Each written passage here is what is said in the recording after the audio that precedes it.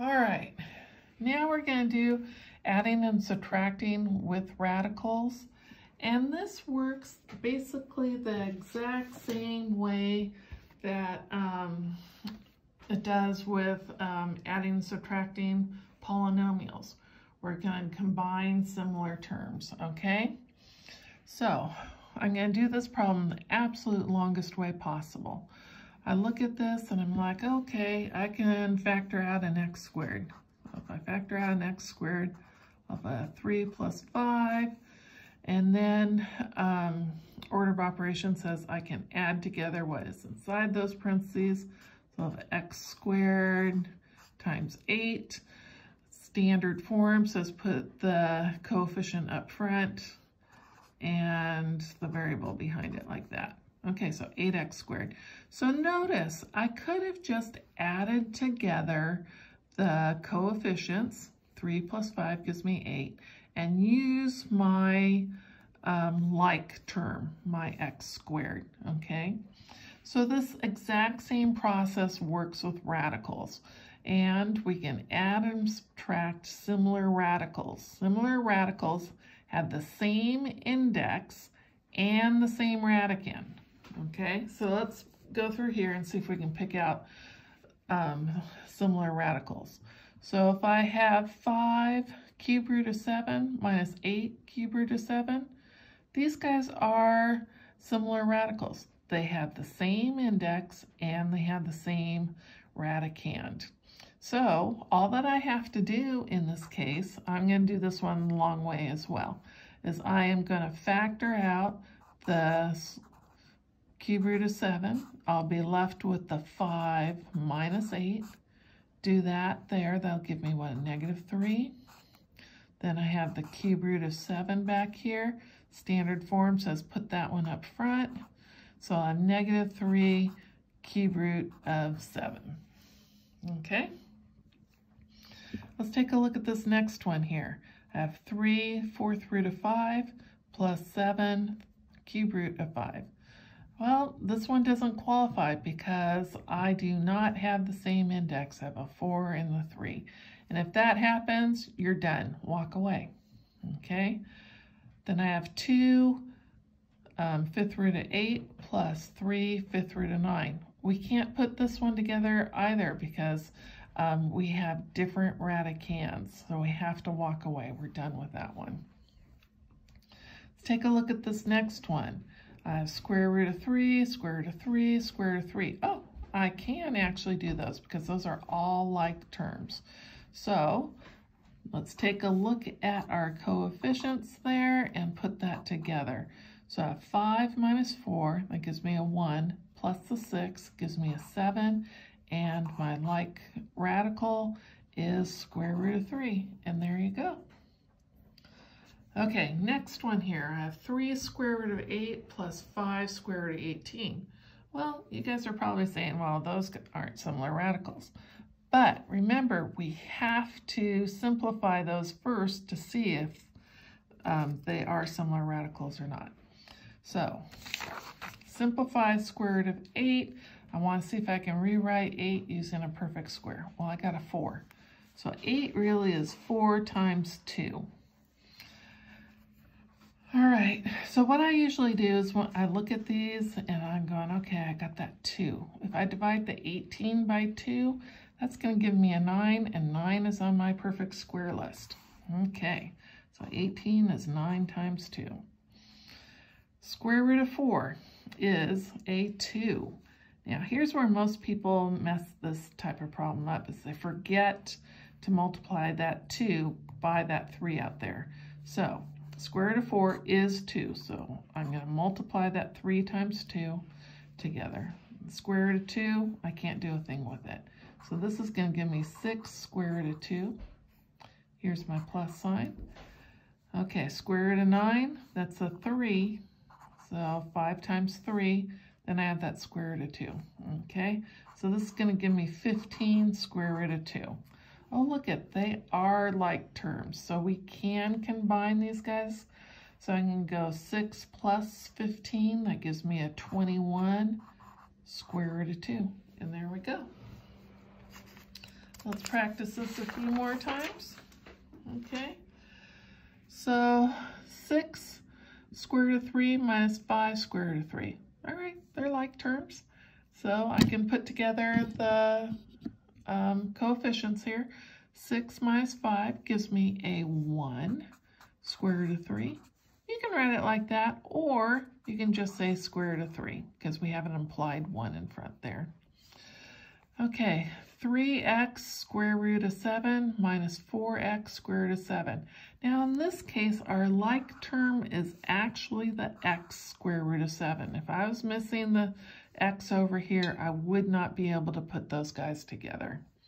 So um, I have the same like term here. I can go 3 minus 4. That gives me a negative 1. And then write your like term behind it. And there you go. That's it. And you don't have to have that one there. You could have um, negative x square root of 7 if you wanted to. Okay, 4 square root of 2 minus square root of 2. Do not forget that there is an implied 1 here. I have the similar terms. So now I can go 4 minus 1 gives me a 3 then use your similar term behind it, square root of 2. Okay, let's take a look at this one. Square root of 2, square root of 2, square root of 5.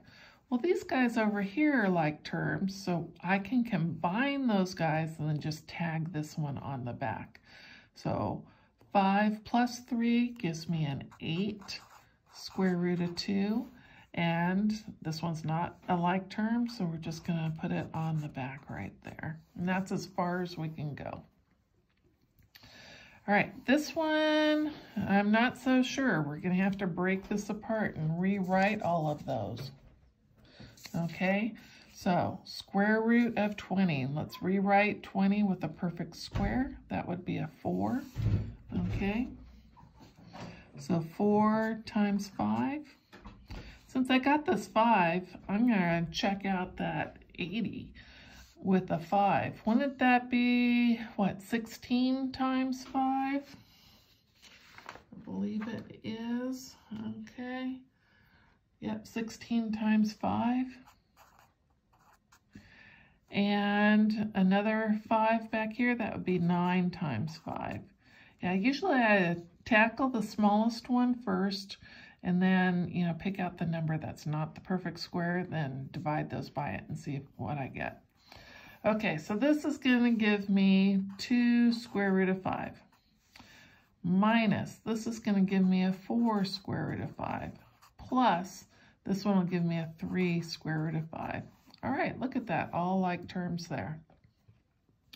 So I can take care of the coefficients here. 2 minus 4 gives me a negative 2 plus the 3, which will give me a positive 1. So this is going to be a square root of 5.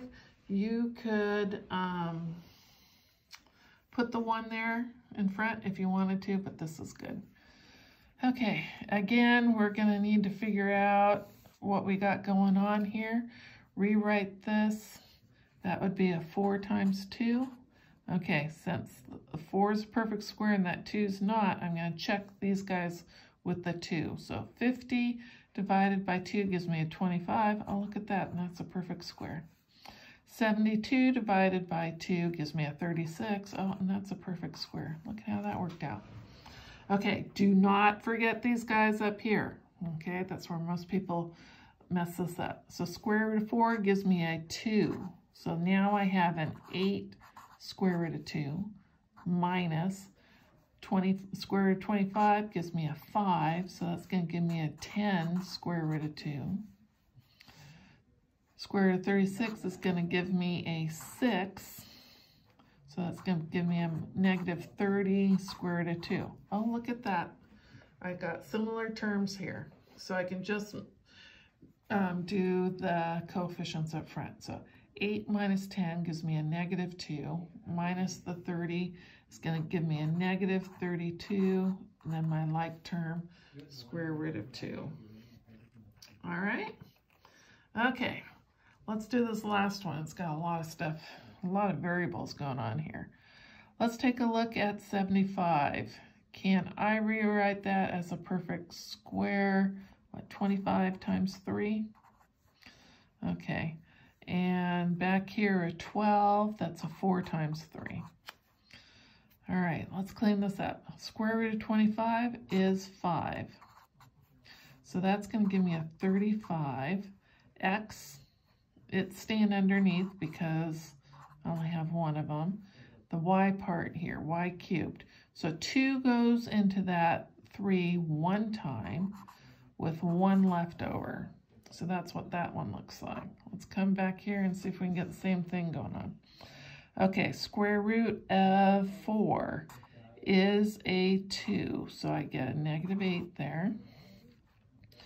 X, it's not going anywhere. There's only one of them. And we've got Y, and then we have that Y.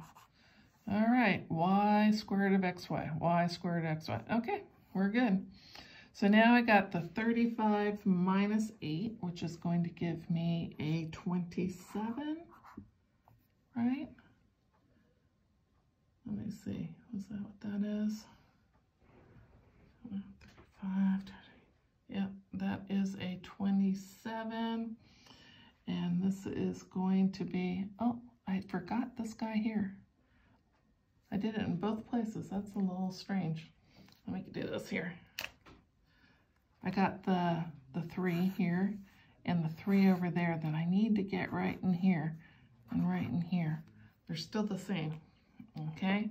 So that is going to be 27 then my like term is going to be y square root of 3xy. And there you go. All right, last two here. We need to clean this up. All right, this one here is not breaking any rules, so we're going to let that be for right now. This one here is breaking a rule. I have a radical in the denominator, so I need to clean that up. And I'm going to do that by multiplying it by square root of 3 over square root of 3. Okay, so that will give me a square root of 3, and a square root of 3 times square root of 3 gives me a square root of 9, and square root of 9 is 3. Okay, so this part right here became that. And I'm going to rewrite this up here.